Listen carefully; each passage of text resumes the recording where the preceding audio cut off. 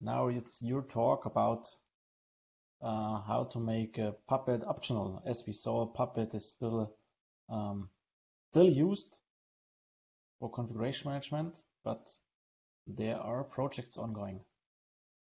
Yep. Um, so I know this is a topic that's brought a lot of attention uh, in the past uh, several months. Uh, and I'd like to go over it and um, talk through what we've done so far and what we're planning to do in the future. Um, first of all, this is Luna, my dog. Hopefully she'll be quiet and not bark at the door while I'm speaking. Um, I live in Tel Aviv, for those of you who don't know me, uh, with her and my wife. And usually I work at the Red Hat office in Ra'anana, um, but like most of us, I believe, um, working at home uh, for the past half year nearly. Um, but that's, uh, I guess, less interesting for most of the audience. More interesting is Puppet. Um, so first, a bit about the motivations. Um, we wanted to make Foreman uh, simple to install and to use. Many people have noticed Foreman is a huge beast that has a lot of options. I think someone in the chat called it a Swiss knife. That's a very good um, representation of Foreman. Um, but uh, that means it's very complex to properly set up and use. Um, we want to be agnostic to config management solutions Foreman started as uh, basically a nice UI for Puppet with a little bit of extra.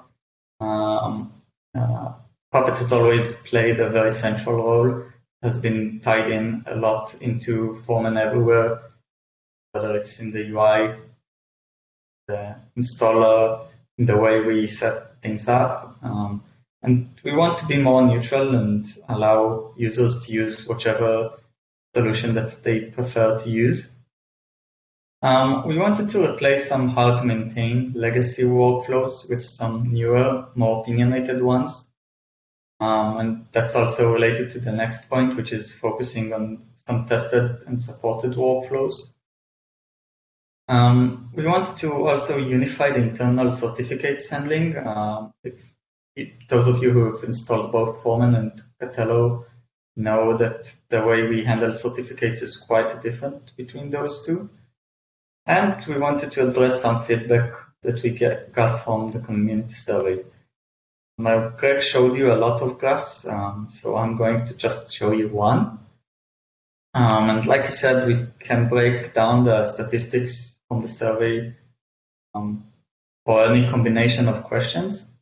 So this graph is actually breaking down uh, the responses to who's using um, the various config management solutions broken down by the experience. So uh, the experienced graph is those users who have been using Foreman for two or more years, and the new is the users who've been using Foreman for less than two years.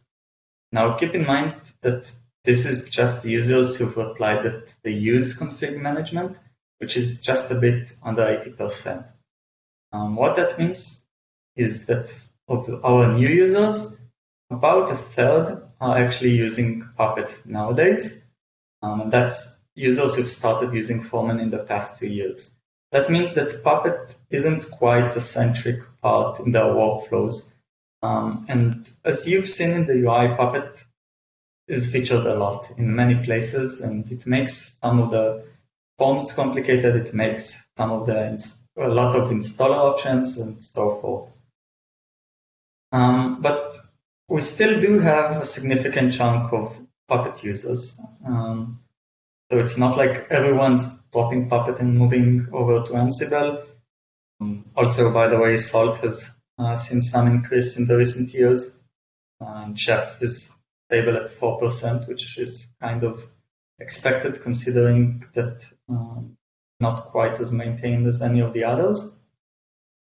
Um, but since we still have a lot of Puppet users, uh, we don't want to throw them under the bus. Um, we decided on a couple of guiding principles for this uh, work.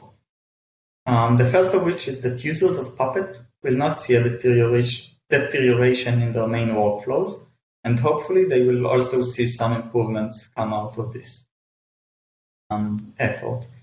Um, and the other guiding principle that we had was that users who don't use Puppet, which as we've seen previously is the majority of our new users, will have a simpler and easier to use experience with Foreman. There were a couple of additional assumptions that we made while planning the, the work. One is that the Puppet-based installer will not be rewritten. Uh, that's a huge project and uh, we don't have the capacity to do that at the moment and working quite well. So there's also not quite a need to do that. Um, and it doesn't actually require setting up a Puppet infrastructure for the most part. Only uses a standalone Puppet. And, and an additional assumption that we've made is that Puppet 5 and older support can be dropped as it's going to be end of life in November.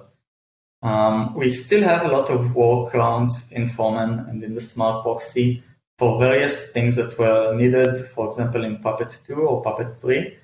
And a lot of that code can definitely be dropped and make our lives as developers and our users setup and supportability much better. So uh, now I'm going to go through our current progress. I'm going through it in the same order as the points I've outlaid in the post from several months ago that's titled uh, The Road to Making Puppet Optional. You can use this quick short link to get to that document. I'll also show the link in the end. Um, so let's go over the various different aspects that we're planning on changing as part of this large effort. First of all, facts and reports. The processing for facts and reports from Puppet is going to remain in Foreman core. Uh, we think that there is also potential to add more fact and report sources into core so that out of the box when you install a fresh Foreman, you can pass facts and reports from various sources. We need to drop support for legacy uh, Facter that we have still some support for facts that were present only in Facter one or Facter two.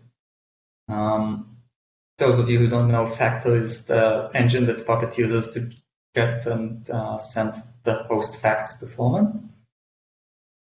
There's lots of areas for improvement here. Um, there's been several discussions on how we can better use uh, better parsed facts and reports, how we can improve the storage, how we can improve the performance of this. Um, there's quite a lot of work around this. And the work around here has mostly not started yet. There's been some small changes already done, but there's still quite a lot of effort um, that we can do and improve in this area. By the way, if anyone is interested, then please feel free to reach out to me if you want to take part in improving any of these points. There's definitely plenty of work to do, and we can appreciate any help that we can get.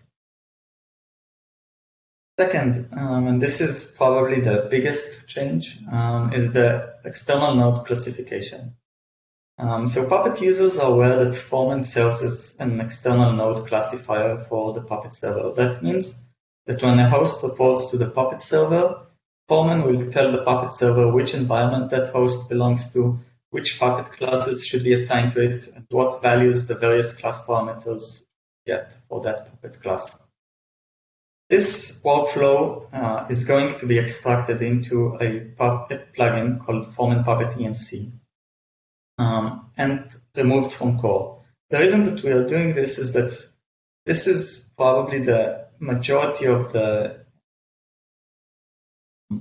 UI clutter and um, setup options that are not needed if you don't use Puppet. The rest of it is usually quite small, but this complicates quite a lot. If you remember the host form, there's, I think, around um, there's two tabs and three or so fields on that form that are just used only for Puppet, and you don't care about those if you don't actually use Puppet. So support will be removed from uh, and Core in version 3.0. Which version is going to be 3.0 is yet to be determined, but it will probably be in one or two versions from now. The plugin is still a work in progress, but the plan is to have it installable alongside core for a smooth migration path if you wish to keep using this functionality. Um, by the way, another outcome from the community survey was that this workflow and specifically class parameters are used less than fact and report processing. I don't have the data in front of me right now, but if uh, fact and report processing was used by about 70% of the users who are using config management, not just Puppet, um, class parameters were only used by around 60%. Um, and the similar numbers are also for Puppet classes and environments.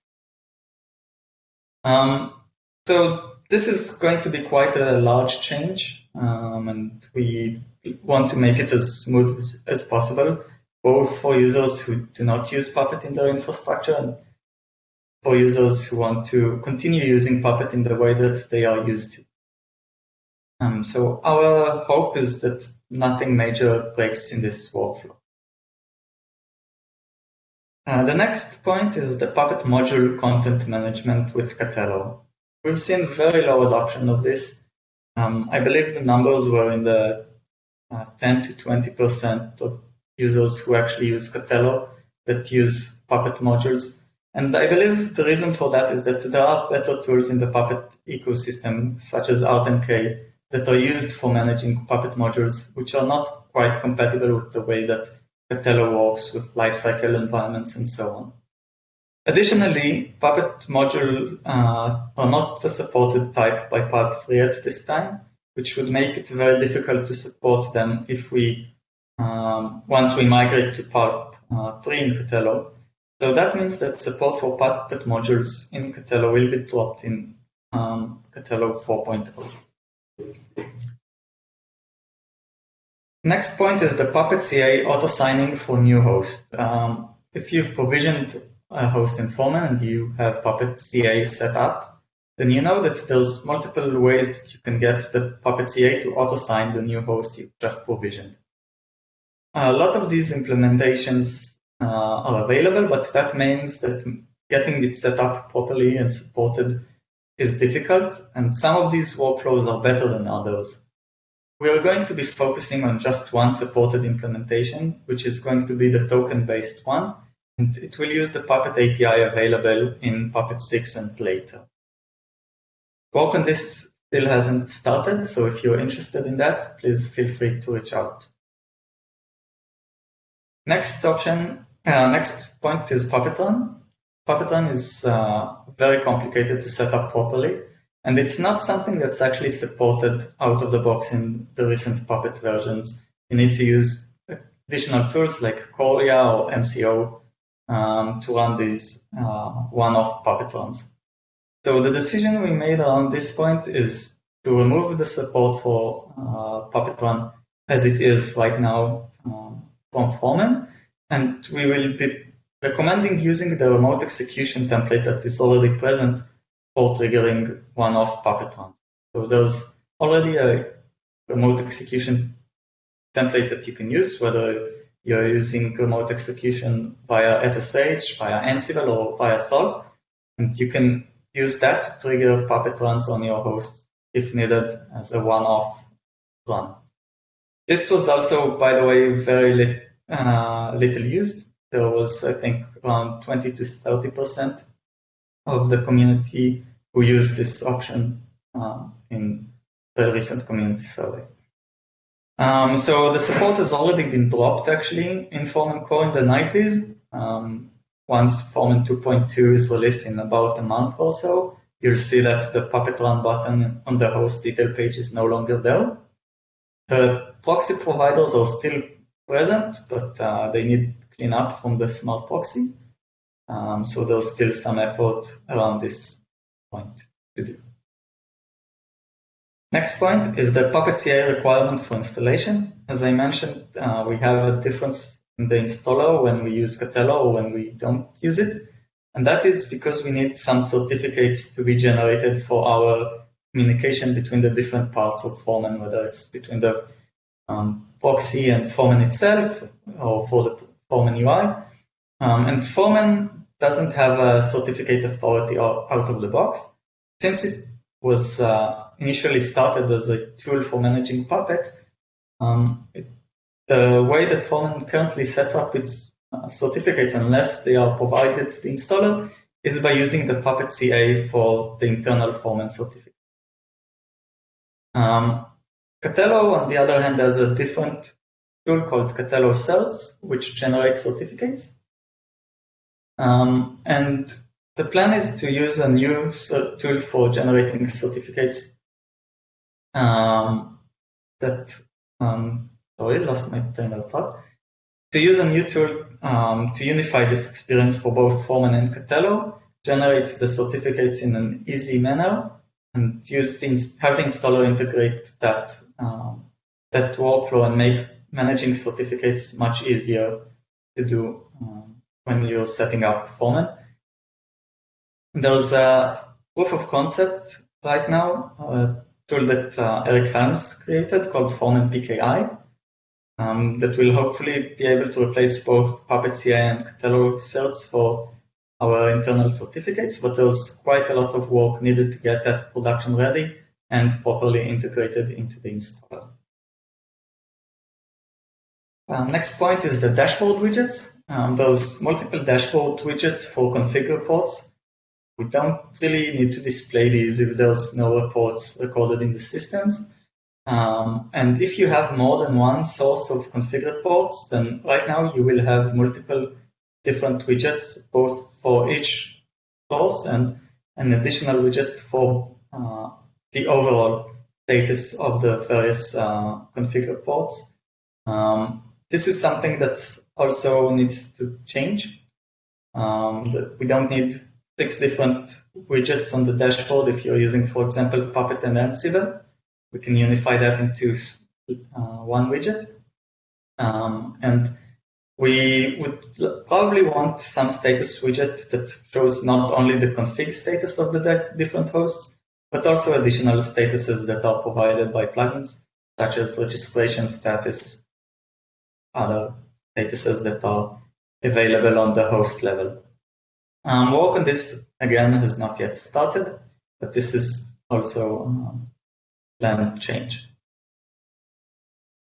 Um, moving on to the host detail page. Um, the host detail page definitely needs a redesign. Um, so a lot of you have noticed that it's quite um, useless, to be honest, as it is. There's two huge Puppet run graphs in the middle of the page that are not very interesting, especially if you're not using Puppet. Um, and there's a lot of information that's not available there. There's a new experimental page that's been just merged and will be available in Foreman 2.2. Um, it was also demoed on the last demo by Emil. So you can take a look at what it's looking like. Um, we started this as an experimental page so we can gather more feedback on what information is useful on this page, the different workflows that users are using it for. Um, so please take a look at that and give us your feedback because this is far from complete and there's still a lot of work around this. And we want to make this uh, uh, page that is very useful for our users, but also uh, hopefully finally unify the host detail and the content host detail page um, from Katello into one page that includes all of the information about the specific host. That is also going to be um, easy to extend from plugins, which is a bit tricky at the moment. Uh, moving on, settings. Um, there's some settings that are related to Puppet as well as other settings that need to be rearranged. Um, some settings show up under the Puppet fact while they actually apply to all uh, uh, sorry, under the Puppet tab while they actually apply to other config solutions, for example, uh, settings related to fact processing. Um, some of those um, only appear under the Puppet tab, but they actually apply to any other fact source. Um, there's been some preliminary work started around this, but there's still lots of work to do. Uh, while we do this, we're going to improve the implementation of the settings as well, uh, make them easier to use, and hopefully also get rid of a bunch of settings that are not really needed. And the last point that uh, I had outlined in the original um, list is the trends and statistics. Again, this is an area that's not seen a lot of usage, um, but there's still some people who are using it. Um, so, and a lot of it is actually based on information that comes from Puppet currently. So we've decided to take the opportunity of these being pages that are less used, but um, are still useful to some, and extract those to a plugin. And by doing that, also learn of uh, what are the various pitfalls and gotchas that we might hit when we do the Puppet uh, ENC plugin. Um, so there's actually a plugin already. Um, it can be installed with 2.1 it's not yet packaged, but uh, for 2.1, but I believe that should be fixed this week. Um, and the idea is that you can install the plugin already with Foreman 2.1 and have a smooth migration path forward. Once you upgrade to Foreman 2.2, you will still have your trends and statistics, and you wouldn't notice that anything changed other than there's uh, another plugin installed on your system. And on the other hand, if you don't care about these pages, you'll see two less menu items in the big list of menu items that's quite confusing, even to someone who's using Foreman for a long time, such as uh, I have been. Um, so those are the, um, I went quite quickly through all of those 10 different points. I'm sure there's quite a lot of questions in the chat. Um, so now would be a great time for taking them.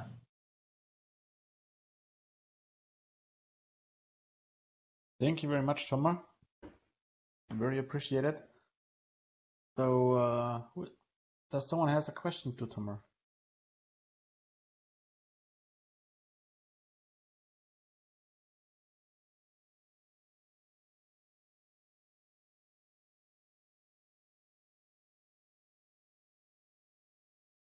Question? Come on. I have a question. Um, so, do you already know how many plugins after, hmm, well, moving out Puppet to plugins um, will we have at the end? So currently the plan is just two plugins. One is the Foreman Statistics plugin, which is already present.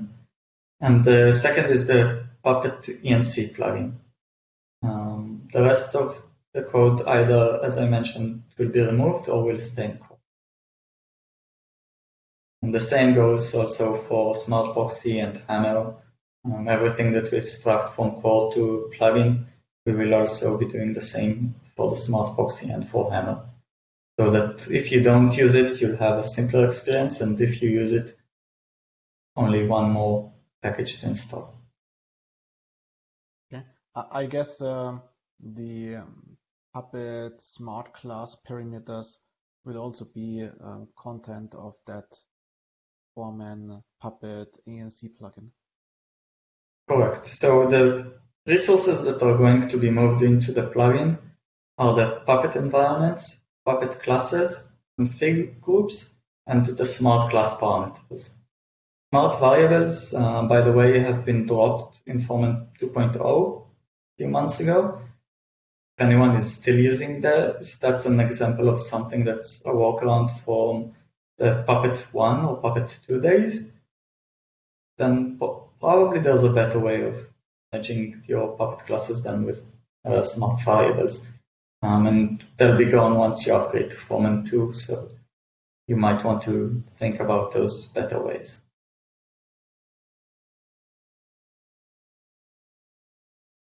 Okay, great. Will be the name really Foreman um, Puppet ENC or will it be Foreman um, Puppet? The name is Foreman Puppet ENC. Yes, it's already uh, in the Foreman organization. Mm -hmm. So if anyone's interested to follow the progress along, you're most welcome. There's also already a couple of resources that have been uh, added to the plugin. Um, so the so there's work going on right now. Um, mostly um, from uh, Ondrej Ezr and Chia who are working on this, but also with help from others as well.